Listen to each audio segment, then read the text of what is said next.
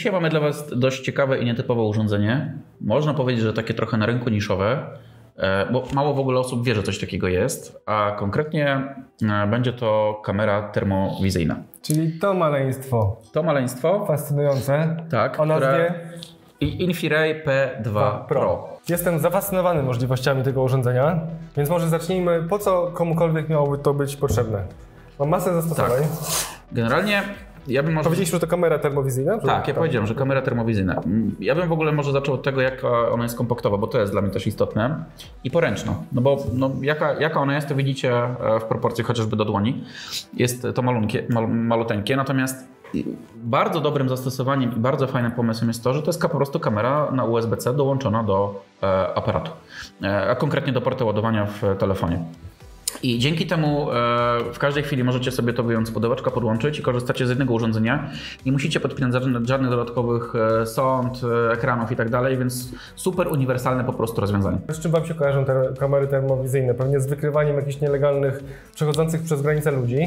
Popularne są teraz telefony z kamerą termowizyjną, które też są dobrym rozwiązaniem. Też te kamery są dobre, jeżeli chodzi o specyfikacje, ale kosztem tego jest duży telefon.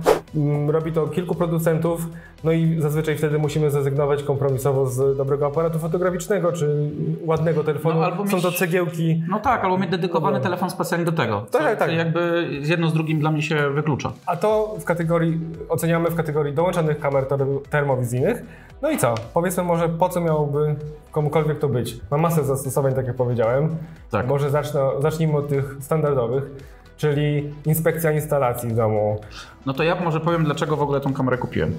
E, bo wszystko się zaczęło od tego, że w łazience ostatnio miałem e, zalanie i podniosło po prostu mi płytki. A w całej łazience mam położoną matę grzewczą elektryczną, która no, jest po prostu znajduje się w posadce, czyli na to jest wylewana posadzka. E, Doszło do sytuacji takiej, że posadzka została podniesiona pod napływem wody, no i było ryzyko, że ta mata grzewcza została uszkodzona. Nie było za bardzo jak tego sprawdzić i nie było wiadomo, czy kuć płytki tylko na jakiejś jednej powierzchni, tam gdzie je podniosło, czy na całej y, powierzchni łazienki, żeby całą matę grzewczą wymieniać. E, Za pomocą takiego urządzenia podpiąłem tą kamerę do telefonu i mogłem sprawdzić, że przy podniesionej posadce cały czas mata grzewcza grzała, w związku z tym obwód nigdzie nie został przerwany, więc bez problemu po prostu mogliśmy wymienić tylko dany obszar płytek e, i, i położyć tak naprawdę nowe. Więc e, w ten prosty sposób ja zaoszczędziłem sobie problemu ewentualnego po położeniu nowych płytek i sprawdzaniu, czy grzeje, czy nie grzeje, bo to już była loteria. Nie musiałem kuć całej łazienki. No generalnie e, urządzenie już samo w sobie się zdecydowanie zwróciło. I od tego przykładu przejdę właśnie może od razu do takiej inspekcji rur. Tam, gdzie leci, gdzie jest ciepła woda, czy na przykład kabla instalacje elektryczne, oszczędzicie sobie kucia. Tak. E, Czy nie traficie na ten kabel rurę, bo widać Tak. jak biegną. E, Dalej, czyli ogólnie budownictwo. E, Dalej dachy, gdzie przede wszystkim mi się to kojarzyło zawsze z uciekaniem ciepła. No tak, samostki termiczne, tak? Jeżeli macie gdzieś w jakimś na przykład rogu, przy balkonie, przy roletach antyłamaniowych i tak dalej, gdzieś po prostu jakiś ubytek, czy wełny, czy styropianu, czegokolwiek, Kunę na czy, czy, czy kuna, która wam na przykład pogryzła podbitkę i tak dalej, jesteście w ten sposób, w pro, jesteście w prosty sposób wyłapać to, gdzie ewentualnie to ciepło po prostu wam ucieka. Nie musicie na ślepo rozbierać wszystkiego, tylko widzicie, że tu jest ciepło, tu jest ciepło, tu jest zimno, więc no macie jasną sprawę. słabe elementy waszej konstrukcji, na przykład małego domku. Widzicie, że tu najbardziej ucieka, jeżeli chodzi, czy warto jakąś ścianę odizolować, bardziej ocieplić. No i Tak. też takie proste rzeczy, jak po prostu nieszczelna uszczelka. Wystarczy, że gdzieś tam to powietrze się dostaje i o kilka stopni może wam temperatura w pokoju już spaść i oszczędzacie tym na Tak, ogrzewaniu. tak. E, kolejne zastosowania masz pomysły, bo ja tu kilka No motoryz- motoryzacyjne chociażby, jeżeli na przykład chcecie zobaczyć, czy równomiernie silnik się nagrzewa lub czy przewody są ciepłe, yy, dochodzące do silnika, od silnika, chłodzące yy, i tak dalej. Więc no, po rozgrzaniu silnika możecie łatwo sobie sprawdzić, czy ładnie wszystko się wam świeci, czy tak działa jak powinno. E, Generalnie w warsztatach em, samochodowych za taką usługę się oczywiście płaci. No, mając tą kamerę możecie sprawdzić to samodzielnie. W ten sposób od razu y, inspiruje mnie do sprawdzenia elektroniki. Tu jest taka specjalna przedłużka, zaraz wszystko pokażemy i możecie sobie układy scalone z przystawką makro dokładnie oglądać. Czy przewodzi ciepło, czy nie? Czy przewodzi ciepło? Przy instalacji elektrycznej widziałem przykład, y, bardzo wyraźnie jest pokazane jak, y, jak się po prostu przegrzewa. Pewnie to skutkuje jakimiś przepalonymi żarówkami i ogólnie zwarciami.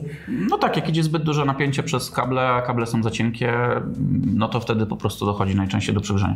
Tu łatwo można zobaczyć e, w, w, w starych odkurzaczach, które były kiedyś na rynku, to na przykład z mocą powyżej 2000 W, e, że jak taki odkurzacz dłużej pochodzi, to ten kabel robi się ciepły, ten, ten kabel od odkurzacza. Ja na przykład mam jeszcze taki jeden stary odkurzacz, który działa rewelacyjnie, e, się bardzo dobrze, ale jak on dłużej pochodzi, to widać, że po prostu kabel się przegrzewa. Tak, tu jeszcze. Aha, no i wcale nie takim e, śmiesznym pomysłem jest myślistwo, ponieważ dzięki tej kamerze w ciemności no, każdy, każdy żywy organizm wytwarza ciepło. Więc e, szczególnie w jakimś lesie czy, czy otwartym terenie, no to widzicie jak, jak na dłoni. Wystarczy wtedy, widziałem inne wersje z obiektywami nie makro, a zoomami, no i wtedy jeszcze macie tą odległość. Więc jak na dłoni widać wszyscy, wszystkich wokół waszej posesji, czy na przykład ja bym chciał sobie sprawdzić jakieś zwierzęta w lesie. Tak, nie, no, w, nocy, w, nocy, ciekawe. w nocy genialnie. I Oczywiście my to nie namawiamy do żadnego polowania, kłusowania i tak dalej. Do obserwacji. Tylko po prostu do obserwacji. Typowo przyrodniczej. To jest bardzo fajne, no bo jak patrzycie w nocy, nic nie widzicie. Przez kamerę idealnie zobaczycie wszystko, co generuje ciepło. Od razu odpowiem może na pytanie, nie widać przez ściany, bo ściana jednak blokuje. Mhm. Musi być jakiekolwiek, jak, jak to się ciepło przechodzić. No dobra, mieliśmy nieco przydługi wstęp, jeśli chodzi o samą kamerę i, i powiedzieliśmy wam, do czego ona jest. A to i tak nie wszystkie możliwości, mam masę pomysłów, ale lecimy dalej. Tak. E, to co, pokaż może pudełko, ja powiem, co jest w ogóle w zestawie, jak to działa. E, Generalnie w zestawie oczywiście mamy samą kamerę, tak jak powiedziałem na początku, ona jest na USB-C. E, Natomiast w pudełeczku z całym kompletem, no mamy zestaw instrukcji, mamy taki woreczek do przechowywania tej kamery. Mamy dodatkowy obiektyw, e, ten właśnie do makro. Tak, i w bardzo sprytny sposób to się e, Tak, to, przyłącza. to, to, działa na, to działa na magnes, nakładamy jedno na drugie i to się Pyk, trzyma. I już nie? i to wszystko. E, I wtedy możemy właśnie przeglądać te układy scalone i tak dalej, czyli na przykład elektronikę, gdzie co przewodzi ciepło i tak dalej. Więc to jest, to jest, to jest fajne rozwiązanie. No i jeszcze warto tylko wspomnieć, jest nakładka plastikowa do ochrony obiektywu. Tak. No i mamy kabel, e, który możemy podpiąć pod telefon, żeby przedłużyć jakby zasięg kamery. Czyli jeżeli gdzieś chcemy coś zajrzeć głęboko, ale nie możemy podejść tam z telefonem, no to możemy po prostu podpiąć sobie kabel i kamerką gdzieś tam w jakąś lukę bardziej zajrzeć, jeżeli jest taka potrzeba. Też fajne, fajny pomysł. Nie ma żadnej ładowarki z tego względu, że kamera po prostu działa z zasilania baterii ze smartfona. W związku z tym to też jest dla mnie dodatkowy plus, bo nie musicie pamiętać, że to urządzenie musi być naładowane. Macie po prostu naładowany telefon, podpinacie i to wszystko działa. Nie martwicie się o to, a dodatkowo te inne mm, konkurencyjne kamery, niektórym na przykład bateria starczyła na godzinę, więc nie dość, że trzeba o tym pamiętać, to było to niewydajne. No tutaj wiadomo, zależy od, od telefonu już, ale na pewno jest to dużo więcej niż godzina. Tak, ale jak ja zobaczyłem, jak z tego korzystałem dłuższy czas, to generalnie nie jest to aż tak, że ta bateria znika w oczach. Wiadomo, tam leci szybciej niż normalnie standardowo byście mieli włączoną kamerę w telefonie, ale bez przesady. Spokojnie to, co macie zrobić, wydaje mi się, że zrobicie. Y, Kamera jest też na obie wersje, to znaczy na iPhone i na Android. Tak, tą, którą ja kupiłem jest z przeznaczeniem na e, Androida. Ja ją podpinam pod Androida. Mm, Tu jest zresztą taka informacja o tym, że Type Android. E, Natomiast miałem też taką przejściówkę, którą dokupiłem sobie specjalnie z wejściem pod e, iPhone'a z wyjściem USB-C. I niestety ta kamera nie chciała działać. Poczytałem trochę na forach i tak dalej. Faktycznie ludzie mają problem, że z, do iPhone'ów 14, kiedy trzeba sobie zrobić przez przejściówkę podejście do USB-C, ona po prostu nie chce działać. E, nie, nie wykrywa. Nie wiem, jak to jest tam w przypadku iPhone'ów 15, które są już wyposażone w USB-C, e, czy to by zadziała, czy nie. Natomiast jeżeli macie telefon, to pamiętajcie, żeby wybrać odpowiednią wersję, czy do Androida, czy do iPhone'a. E, Obydwie wersje są dostępne na rynku. Podobno od tej 15 tam na stronach jest napisane, Jest że, wszystko, okej. że wszystko jest ok. Zapomnieliśmy jeszcze powiedzieć, że na tle konkurencji wyróżnia się też bardzo solidną obudową. Tu wszystko jest z metalu. To nie jest imitowany jakiś tam, no, jakieś tworzywo czy nie element. Wszystko jest takiego solidnego, Mhm. przyjemnego dla oka metalu. Nie, no to sprawia wrażenie takiego produktu faktycznie premium, Premium, nie? tak. E, To nie jest tania rzecz generalnie, chociaż na tle konkurencji i tak nie wypada Właśnie drogo. tak, właśnie na tle konkurencji tak. Ja, ja, ja gdzieś- gdzieś tam jak kupiłem, to ona kosztowała 1100 zł, z tego co dobrze pamiętam. Natomiast generalnie no, konkurencja, znajdziecie tańsze kamery, znajdziecie droższe kamery, ale Nawet z tymi tańszymi nie tak chyba. patrząc, tak, patrząc na to, co ona potrafi i specyfikację techniczną, to jest, y, jak ja przeglądałem, wybór, który naprawdę warto wziąć pod uwagę. Tak, O właściwie specyfikacji technicznej byś powiedział, może coś powiedział. Tak, może tak na początku o na tle konkurencji, bo tutaj pod każdym względem praktycznie wypada lepiej. Sobie wypisałem takie główne cechy. No to oczywiście wielkość i wykonanie, tym już, tym już jest na plus. Względem kamer nawet ocenię dw- 2000, czyli to już połowę. No powiedzmy, ja widziałem ją do 1400, ale to i tak jest dużo, dużo taniej, a kamery za 2000 tak. Nawet w profesjonalnych zastosowaniach używa się dalej sensorów chyba około 160 pikseli. Ta nasza malutkie nasze cudo ma 256 na 192 gdzie kamery, wypisałem sobie kilka popularnych modeli. Jest to FLIR One Pro LT, on kosztuje około 2000 i korzysta z sensora 880 na 60 więc to jest kilkakrotnie mniejszy. Rozdzielczość to jedno, ale mamy jeszcze częstotliwość, to bardzo wpływa na...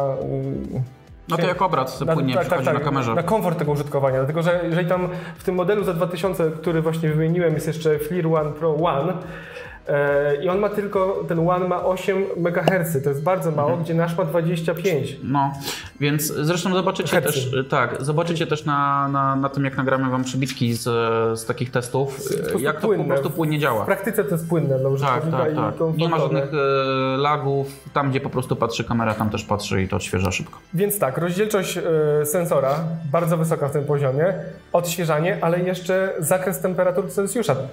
Kolejne zwrócę, te modele po 2000 2000 mają zakres od minus 20 do 120 stopni Celsjusza. Nasza do 550. I też ogromna minus, różnica. Od minus ilu tam było? Od też minus, minus 20, 20 tak? Z tego tak, no. tak, jak coś to wstawimy napisy, mhm. ale na, na, pewno do 550. To jest ogromna różnica. No. Tak. Więc właściwie pod każdym względem wygrywa z konkurencją. Tak. E, w samej aplikacji też jest skala pokazywania temperatury. Aplikację pokażemy osobno, tak, tak. jak podłączymy. Natomiast tam też jest skala, w związku z tym łatwo stosunkowo możecie zobaczyć rozpiętość jakby tej temperatury, jakie urządzenie jakieś generuje, które badać. 13 gram tylko. No tak. Znaczy to, to czy by ważyło 20 gram, 30, no to generalnie nie stanowi dla mnie jakby znaczy, żadnego... Wiesz, te, te, te, te konkurencyjne to jest taki, taki kwadrat no wiem. tego telefonu, to już jest to już Jasne. coś. Natomiast ja jakby kierując się tym, patrzyłem głównie na to, co ona potrafi, jak ona działa i jak jest wykonana, niż, niż czy ona będzie ważyła dwa razy tyle, czy nie. No nie? No bo to nie jest coś, co chodzisz cały czas. No tak, nie, nie jest to e, może główna rzecz, do której bym wybierał, Do takiego ale... mojego użytku domowego, gdzie ja potrzebowałem sprawdzić sobie typowo tą podłogę i wiem, że już będę mógł zastosować to gdzieś indziej, bo na przykład e, w, w domku na wsiku napogrywa mi e, strych i sobie dzięki temu mogę zobaczyć, gdzie mi po prostu ucieka ciepło, to e, dla takiego użytku profesjonalnego, czyli na przykład instalatorzy hydrauliki, mechanicy i tak dalej, myślę, że wtedy oni mogą zwracać uwagę na tą, e, na tą wielkość, no bo zawsze jak masz zajrzeć w jakiś lepszy zakamarek albo coś, no to im mniejszy gabaryt, no tym właśnie. lepiej. Ale przyznasz, że przy tych wszystkich danych jeszcze, jak jest jeszcze do tego mniejsza, no to jest imponujące. Nie, no pewnie, że tak. Włożysz no. sobie do kieszonki, no i właśnie, jeżeli chodzi o to zajrzeć gdzieś w małe mm -hmm. miejsce, tych dużych właściwie nawet nie patrzyłem, jak to by wyglądało, no bo nie, mhm. nie wiem, czy mają nie, no, możliwość. I, I, pamiętajcie, że jest cały, tak, tak, cały ten przewód tym... dołączony, e, gdzie po prostu możemy sobie no, gdzieś to wcisnąć. Zajrzeć. No. E, ma około, znaczy nie około, ma 27 mm, to, jakby mhm. to ten. Jakby to było ważne, no, mhm. no, a 27 na 26 już z portem USB. Mhm. No, no, no maleńki. No to co, to jest praktyczne. Po podpięciu kamery do, do aparatu możemy przejść sobie do aplikacji. Aplikacja P2 Pro, tak jak nazwa modelu tej kamery. E, mamy tutaj czajnik dopiero co rozgrzany, więc idealnie macie przykład pokazany, jak na kamerze widać e, nagrzane urządzenie i jak ono się nagrzewa. E, czyli jak tu jest szybka w urządzeniu, to widzicie, że przez nią najbardziej widać ciepło. Metalowa obudowa to ona trochę hamuje, ciepło to wiadomo. Jak otworzymy pokrywkę, a ona chyba tu się nie otwiera. Dobra. E, mamy możliwość zobaczenia na przykład na kamery, tak? E, kamery mamy LEDowe, natomiast widać też jak one generują w jakiś sposób ciepło. Mamy okno, które jest zimne, więc widać, że nie generuje. Mamy tutaj e, kwiatek, który jest trochę cieplejszy niż szyba, więc ładnie to wszystko nam pokazuje. Tak, mamy, mamy kubeczek. Ładnie widać na kamerze, jak leci do kubka ciepły płyn. Szkło się jeszcze nie nagrzało i ono się będzie nagrzewać o, dłużej. E, no ale, ale widzicie, jak, widzicie jak, już, jak już to działa. No i teraz tak, mamy w samej aplikacji kilka fajnych elementów. Możemy zmierzyć na przykład temperaturę punktów. Wybierając ten przycisk punkt, możemy naznaczyć, że teraz akurat kubek z zewnątrz ma temperaturę 57, 56 stopni. Możemy tych punktów zmierzyć sobie wiele. Aż do 9 podobno. Tak, jeżeli przejdziemy na górną krawędź kubka, to widzicie, że temperatura spada 29 stopni 30. Jeżeli, jeżeli zjedziemy na sam dół, mamy w okolicach 60, 63. E, możemy e, zmierzyć całą rozpiętość tego kubka, czyli wyciągnąć po prostu sobie średnią. W ten sposób, że zaznaczamy linię, zaznaczamy górną, dolną krawędź, krawędź. Mamy, że minimalna temperatura, czyli tam gdzie jest na dole mamy 36, mm, maksymalna 70, czyli po prostu kubek cały czas się rozgrzewa po tym jak ta woda zaczyna ogrzewać szkło, które w nim jest zgromadzone. Średnia temperatura 62 stopni. Pokaż jeszcze może te punkty, e, zaznacz dwa różne. Okay. Obok Jak, mamy, jak mamy na przykład em, okno i lampę, wybieramy punkt. Tu musisz usunąć linię chyba najpierw. A, okej. Dobra, mamy, mamy dwa punkty, wybieramy punkt, wybieramy... Nie zaznaczyłem. Czekaj, bo tak A, nie trzymasz. Mhm. Okej. Mamy jeden punkt jako lampę, drugi punkt jako okno. Temperatura okna pokazuje 18 stopni, temperatura lampy e, pokazuje 42 stopnie. I tak możemy sobie kilka punktów pozaznaczać. Dzięki temu na przykład podczas całej instalacji, jak sprawdzamy rurkę, gdzie ona na przykład się wychładza, czy, czy jak to generalnie jest całe jakieś urządzenie, które chcecie zmierzyć, to możecie zmierzyć sobie każdy punkt. E, więc tak to, tak to tyle fajnie działa. Mamy stronę, czyli możemy zmierzyć sobie e, cały obszar, po prostu zaznaczamy Zaznaczamy obszar, który chcemy zmierzyć i on wyciąga nam średnią z tego obszaru, e, maksymalną, minimalną temperaturę, którą na bieżąco mierzy. Widzicie, jak te kropeczki latają, one się dopasowują na to, co aparat patrzy, no i algorytm już to po prostu mierzy. E, Mamy również e, linijkę, czyli mamy po prostu skalę pokazaną z całego, z całego otoczenia, że tu, gdzie teraz kamera patrzy, czyli ten obszar cały, który widzimy, minimalna temperatura to 11 stopni, maksymalna 60 e, 74, czyli po prostu zahacza nam kubek. Jeżeli podjedziemy wyżej, widzicie, ta temperatura już spada, już nie ma 74, tylko jest od e, rozgrzanych innych mm, elementów. Mhm. Sama aplikacja jest bardzo prosta w obsłudze. Mm, Podstawowe ustawienia są e, tutaj w szkole Zambaty. E, Mamy specjalistyczny pomiar temperatury, włączony, wyłączony. Ustawienia obrazów, czyli możemy przełączyć nagrywanie wideo, grafikę o wysokiej wydajności i e, do przełączenia automatycznie migawki na, na wideo. Jednostka temperatury możemy wybrać te, które, które chcemy. E, Co ważne, bo kelwiny, tak? Niektórzy, niektórzy potrzebują też kelwinów, więc ta opcja tutaj jest. E, Alarm temperatury. E, Możemy ustawić maksymalną, minimalną, czyli jeżeli na przykład wykrywacie sobie jakieś urządzenie, wiecie, że ona nie powinna przekraczać 40 stopni. Jeżeli będziecie je badać, to wyskoczy Wam alarm po prostu o tym, że ta temperatura została przekroczona. I ochrona przed poparzeniami. Mm, Tutaj dla samej kamery ochrona taka, że jeżeli ona działa do tych 550 stopni maksymalnie, a chcecie zmierzyć coś, co jest bardziej, bardziej ciepłe, to żeby kamera się nie uszkodziła, to po prostu e, wyskakuje Wam mm, takie ostrzeżenie. E, W ustawieniach ogólnych możecie wybrać język, znak wodny, czyli że będzie e, logo na materiałach nagranych i zdjęciach Infiray albo nie będzie. E, No i, i to w zasadzie tyle, jeśli chodzi o samą aplikację. I filtry. E, tak, mamy tutaj również e, filtry, mamy paletę. No i tutaj możemy przełączać sobie na różne, e, różne wartości, te, które akurat w badanym środowisku przez Was są, e, są lepsze. Tak? No tutaj na przykład fajnie widać kubek, że dno kubka, e, czyli ta podstawa i sama góra jest najmniej rozgrzana, a tutaj widzicie jak ładnie, tu gdzie woda się to e, rozgrzewa. Tak? No i analogicznie możecie sobie różne inne opcje zmierzyć. Jeżeli sprawdzimy tam dalej, to też możecie widzieć podgląd, co generuje, czyli tam gdzieś, e, gdzie tutaj to widać, to jest grzejnik, no ale możecie ładnie sobie zmieni- zobaczyć na innych trybach, jak to po prostu wygląda. E, więc tu jest akurat fajnie ten tryb, gdzie jest całkowicie pokazane jakby ciemno i gdzieś tylko jakieś punkciki, które generują nam, e, generują nam ciepło. Tak, czyli w praktyce taki kontrast taki Wam najbardziej odpowiada. Ja wyobrażam sobie ten czarny, włącz na chwilkę. O, ten byłby Mhm. idealny właśnie w jakimś lesie, w jakichś takich dużych przestrzeniach, żeby tylko wykryć cokolwiek, co się poruszy. To Tak. jest najbardziej kontrastowy. Kasia, wychyl się kawałek za monitora. O, i tutaj widzicie właśnie Wychylająca pokazało się. wychylającą się Kasię, tak? Jak ona jest schowana za monitorem, czyli na przykład za drzewem, to jej nie widać. Ale jak się ruszy na przykład wam w krzakach, w lesie albo gdziekolwiek, to raz ją zobaczycie. Tak, no i y, możecie nagrywać obraz. Jest obraz. Tak, jest, jest możliwość robienia zdjęcia w każdej chwili, czyli teraz na przykład e, robimy obraz, e, zdjęcie możemy nagrywać kamerą, czyli po prostu to, co widzimy, się nagrywa. I tu też właśnie dlatego ważna jest ta, ta ilość megaherców, e, jaka kamera obsługuje, czyli do tych 25, żeby to po prostu był płynny obraz, ładnie, e, ładnie żeby wszystko się nam nagrało. E, Mamy podgląd do wszystkich zdjęć, po prostu tutaj przechodząc do albumu widzimy wszystkie nagrane elementy. Tu Wam jeszcze podam jeden przykład, który e, świetnie pokazuje e, podłogę która jest e, u mnie położona na przykład w jeszcze w innym pomieszczeniu, nie w tej łazience, ale widzicie jak pięknie spiralą przechodzą elementy grzewcze, jak one zostały e, położone. Jeżeli na przykład chcecie gdzieś się wkuć w jakiś element, albo zobaczyć, czy gdzieś wam ucieka na przykład ciepło, albo cokolwiek, albo na przykład wodę. Częstym przypadkiem jest tak, że na przykład na kotle w domu, jak zobaczycie, że wam ucieka ciśnienie, to znaczy znakiem tego, że gdzieś jest jakieś rozszczelnienie. Często to rozszczelnienie jest właśnie w, w ogrzewaniu podłogowym e, wodnym. No i wtedy widzicie, jeżeli wam pojawia się gdzieś jakiś wyciek z boku albo coś, no to macie pierwszy powód, gdzie tego szukać. Nie musicie całej podłogi wszędzie kuć, tylko możecie ewentualnie zbadać jakiś jeden element. Więc genialne pod tym kątem em, narzędzie. No tutaj mam jakieś przykładowe zdjęcia.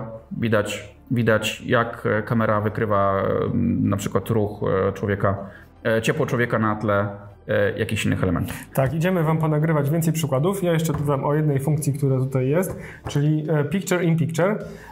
Tak, znajduje się ona w tym miejscu. Tutaj macie podgląd z kamery telefonu i nałożony obraz z kamery termowizyjnej. Czyli wyobra- wyobrażacie sobie, że, że może być to potrzebne, żeby orientować się w terenie, czy, czy jaki to jest obiekt, m, po Tak. prostu realny obraz versus... Dokładnie tak. Dokładnie tak. I jeszcze jedna fajna opcja, która tutaj jest, jest to e, kalibracja kamery. Wystarczy, że naciśniecie jeden przycisk i ona Wam się kalibruje, czyli wiecie, że ona już nie będzie przekonywać z żadnymi e, pomiarami. Więc bardzo fajna, bardzo fajna i prosta obsługa. No to co, idziemy nagrywać. Jedziemy. To są zwykłe okulary, a tak wyglądają w termowizji. Lol. Tutaj jedno z zastosowań. Mamy wsadzoną e, baterię do ładowania. Możemy zobaczyć, jak ona bardzo się nagrzewa w trakcie, w trakcie ładowania. No i mamy tutaj, że bateria ma teraz 20, niecałe 25 stopni, 24,5 podczas ładowania. E, To jest o tyle też ważne, żebyście na przykład zobaczyli, czy bateria na przykład wam się nie przegrzewa e, w telefonie, w e, laptopie, czy w jakimś innym urządzeniu, które po prostu ładujecie. Nawet ze względu bezpieczeństwa. No. Dobrze Przykład, tak, tak, dobrze ci wiesz. No.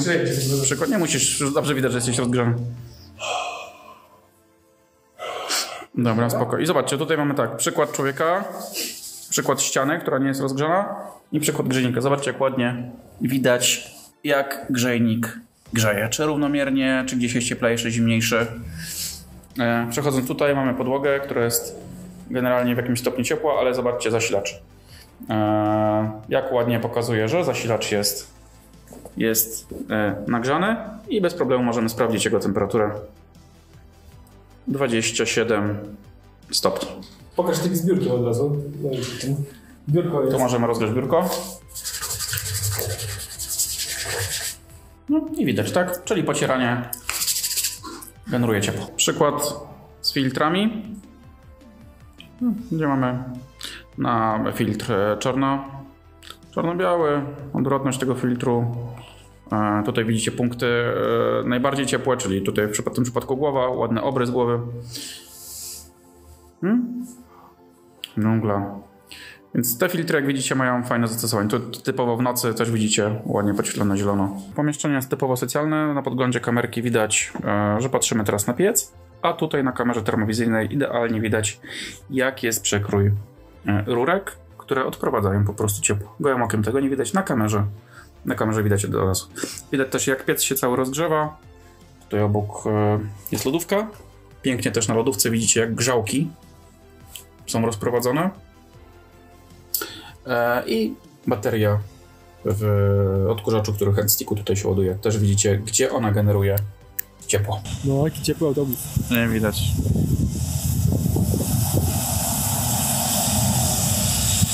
O, widać silnik elegancko, nie? O, zobacz. Wow. To jest najlepsze. Wyłączymy picture, picture. Widzicie, jak maty, maty grzewcze są rozłożone w samochodzie? Jak grzeją, czy jakiś obwód jest przerwany, czy nie. Tutaj macie przykład samochodu, włączone ogrzewanie. Widzicie, jak kratki wentylacyjne, z których leci powietrze, jak się nagrywa ek ekran, elementy, które gdzie jak się nagrzewają w samochodzie. Więc bardzo ładnie wszystko widać. Widzicie też ogrzewanie pod szybą. W prosty sposób możecie sprawdzić, czy powietrze ciepło leci, czy nie. Możecie też sprawdzić, jak bardzo nagrzana jest kratka wentylacyjna. 22, 4.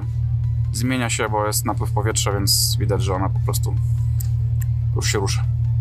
To się może delikatnie nagrzewać, ramy mogą się delikatnie nagrzewać. No i dysplay sam tutaj. Tak, no przy radiatorze widać ładnie, że No i też fajnie można sprawdzać radiator, bo gołą ręką na przykład nie odczujesz, że radiator jest wadliwy, e, bo on się rozgrzeje, ale na przykład się nie rozgrzeje do takiej samej temperatury jak trzeba, nie? I wtedy można fajnie wyłapać, bo wizualnie radiator może być cały. Gdzieś na przykład nie zauważysz, że jest gniotka, on wtedy nie działa tak jak trzeba. Weź otwórz. No generalnie efekt taki, że wiesz, tam ciepło, to nie widzisz, że uciekasz, ale widzisz po prostu, że wiesz, że tu jest zimno, tam jest ciepło, nie? Aha.